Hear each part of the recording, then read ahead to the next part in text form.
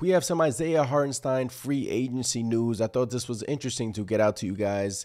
It was a story published by Stefan Bondy, pretty much insinuating that the Oklahoma City Thunder's interest in Isaiah Hartenstein is very, very real. So what I'm going to do is share my screen with you guys and we can go through this story together. I think this is a good, you know, engaging exercise for both me and you guys watching the video. So let me just share my screen with you guys. Here we go. Boom. There it is. All right. One thing about the New York Post, because Stefan Bondy's from the New York Post, and I just happened to, you know, come across this article. There's so many ads. There's so many ads in the New York Post website. All right, let's try to get through this with all of these ads in the background. Okay, Thunder could seriously complicate Knicks Isaiah Hartenstein plans. That is the title of this article. And then it says the competition for Isaiah Hartenstein could very well include a team with a dangerous trio cap space, legitimate title aspirations. Pretty much says OKC can make a strong bid for Isaiah Hartenstein and the New York Knicks who are capped out but can offer a starting salary of roughly 17 million using their early bird rights. The Thunder have roughly 35 million in cap space and a glut of draft draft assets to build on its surprising success. Um, let's just get to the meat of this story, the meat of the article. What can the New York Knicks offer? What can the, we know what the Knicks can offer, but I want to see what he thinks the Thunder will offer Isaiah Hartenstein. It's real, an NBA source said of OKC's interest in Isaiah Hartenstein. It's it's scary, you know. The Thunder, when the season ended, I brought up the Thunder as a possible destination for Isaiah Hartenstein because they need a big, because they need an offensive rebounder, they need like an enforcer down low, and that is an absolutely amazing fit for their team. So I can see why their organization would want to acquire an Isaiah Hartenstein. So it's real. You know, it's real. The NBA source says it's real. And I'm going to get to the meat of this article, pretty much saying what the Thunder can offer. Okay. One league source speculated the Thunder would offer a short-term de- short-term deal, such as two years with a high salary, providing both sides with long-term flexibility. Given the, their cap restraints, the Knicks offer for Isaiah Hartenstein can max out at four years, $72 million, essentially the same contract they gave Joakim Noah in 2016. But pretty much he's insinuating that the Thunder, I don't think it's in this article, but pretty much he's insinuating that the Thunder can offer Isaiah Hartenstein like two years, 45, 50 million dollars, right? And if they offer him two years, 45, 50 million dollars, that's 25 million dollars per year. So the Knicks' highest bid can only be what 17. So that is an extra seven million dollars in Isaiah Hartenstein's pocket.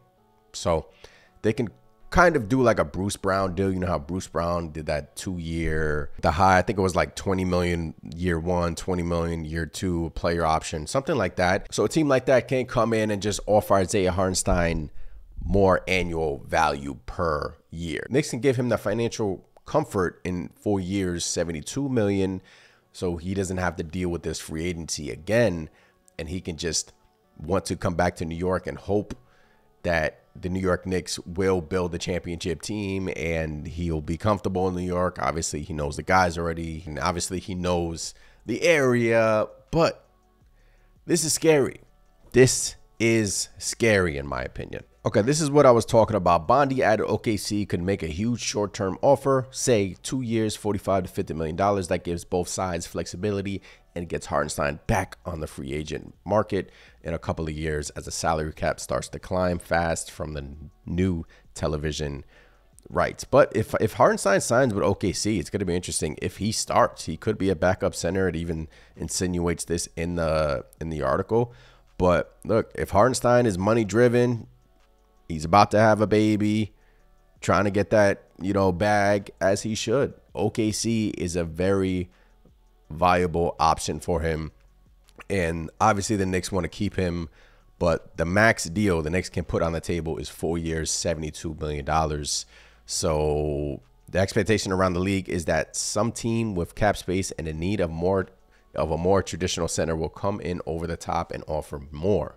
North of 80 and closer to 90 for four years. And Hartenstein will take it. Guys, what do you guys think of this? What do you guys think of this article? We all knew this was coming. Not saying Isaiah Hartenstein is leaving, but the Knicks can only offer him $72.5 million over four years. A team at cap space can obviously blow that, not blow it out the water, but offer him more. So it comes down to this whether Isaiah Hartenstein loves New York and wants to stay in New York and takes a discount. I wouldn't call it a discount, but it's a lot of money. Look, when you're talking about millions and 72 million and 90 million, I mean, when you're making that much money, like, I mean, that's generational wealth right there for an NBA player. Can set his family up for decades to come. But let's say Isaiah Hartenstein takes the OKC Thunder deal. It's going to be very interesting where the Knicks pivot. How, what direction do they go? Obviously, the Mitchell Robinson trade rumors, you can squash that because then essentially we would need a center.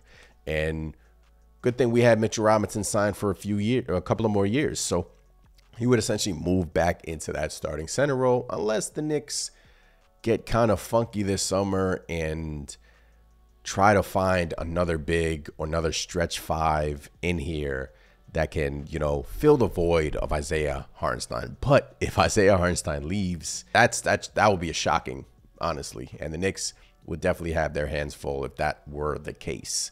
Because I do think they want Hartenstein back desperately, and he's a huge part of what we do. But this is the NBA, man. You got to do what's best for him, and we just have to wait and see. So it's going to be interesting the way the Knicks kind of configure their roster if Hartenstein were to leave, then it's like, what now? The draft is before free agency. So do the Knicks kind of take an insurance policy before that happens? Who knows? But this is from Stefan Bondy. Just wanted to get you guys this information as quickly as possible. Isaiah Hartenstein, does he stay or does he go? The Thunder are a valuable option.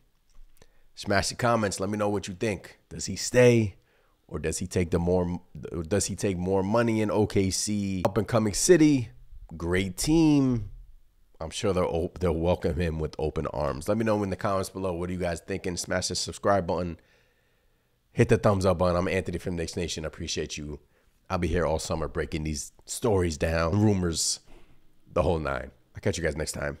Peace.